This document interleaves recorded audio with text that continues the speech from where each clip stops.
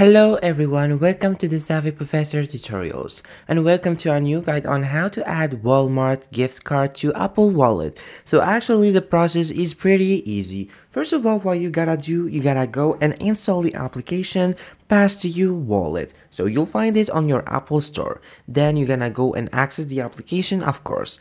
After that, as I did in the search bar, you write Walmart gift cards. So you'll have many templates that you can use to add your card. So for example, let me choose the second one. It looks good. Then from here, you'll be able to add it. So just check the preview as you can see, then click on next from here. Now the next step is to scan your barcode from your, you know, Walmart gift card and add your name and the pin code. Then you click on done when everything is added.